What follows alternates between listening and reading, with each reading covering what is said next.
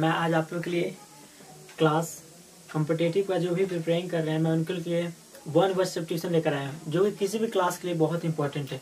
जैसा कि आप लोगों को पता है सी एच एस एल हो S S C M T S हर तरह का अपना लोग फॉर्म अप्लाई कर चुके हैं और एग्ज़ाम बहुत ही नज़दीक है। और हर क्वेश्चन कितने मार्क्स का हो गया थ्री मार्क्स का। वन वर्ड सब्सटीट्यूशन जो कि आपका इंग्लिश का पार्ट है, ठीक है? तो मैं आज आप लोग के लिए लेकर आया हूँ, जिसका आपका C G L S S C C H S L हर का प्रीवियस ईयर का क्वेश्चन मैं लेकर आया हूँ, ठीक है? तो प्लीज़ ध्यान के साथ कंसंट्रेशन के साथ बनाए रखें और बारीकी से देखें।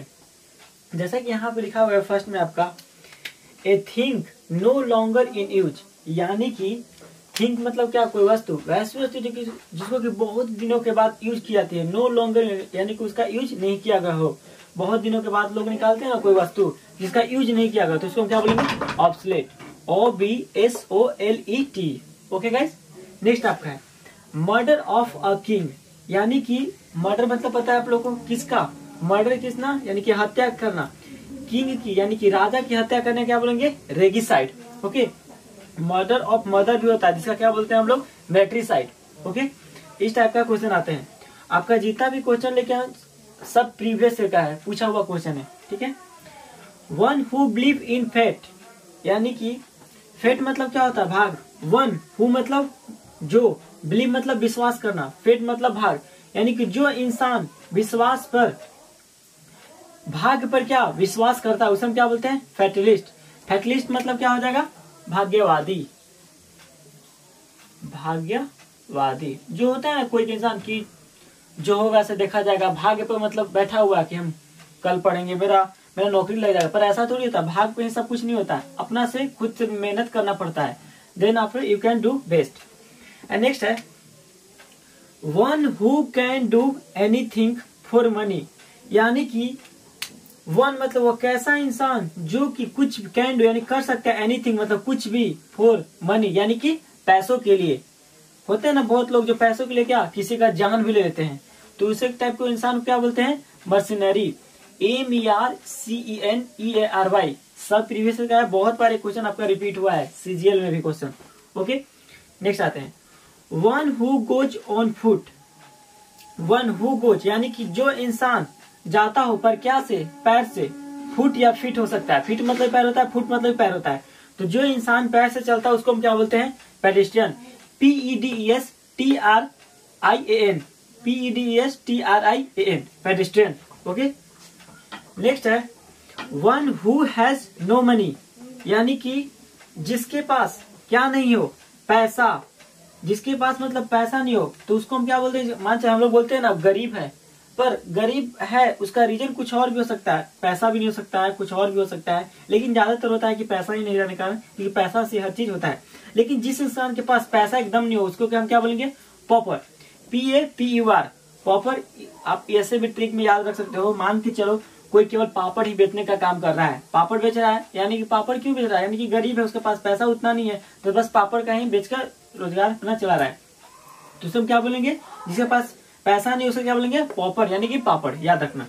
Next guys one who is too much यानी कि वह इंसान, इस मतलब खाना टू मतलब बहुत ही ज़्यादा मच मतलब ज़्यादा, और टू मतलब भी।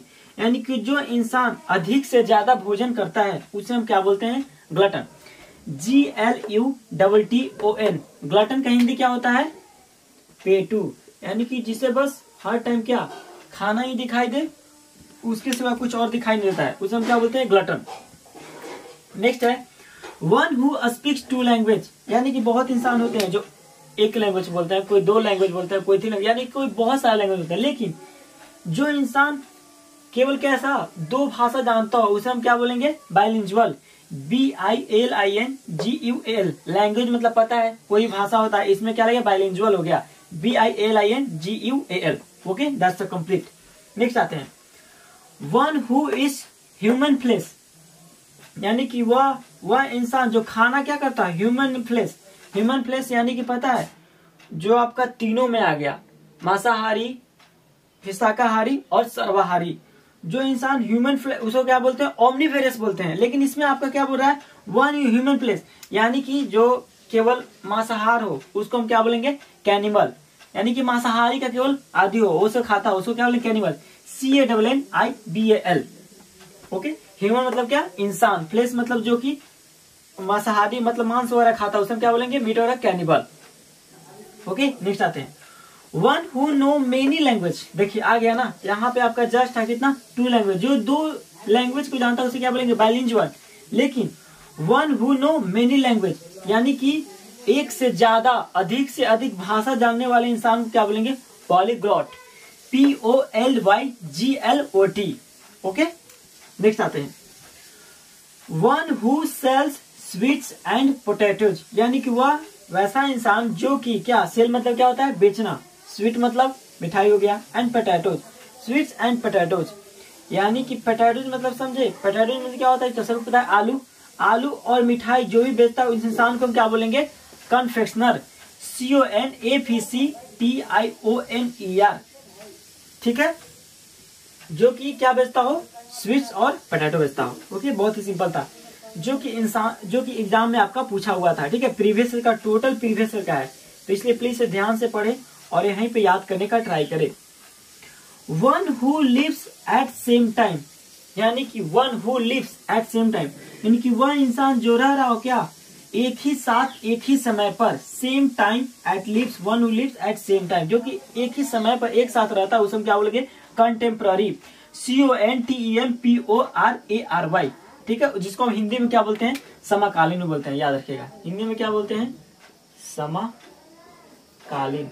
ऐसे ज़्यादा तो एग्ज़ाम इंग्लिश का तो इंग्लिश में पूछेगा। जैसे इसका मतलब समझेगा क्या होता है? वन वर्ड सब्स्टिट्यूशन यानी कि अनेक शब्दों के लिए एक शब्द था। जैसे कि जो बहुत बोलता है, उसे हम क्या बोलते हैं हिंदी में? वाचाल।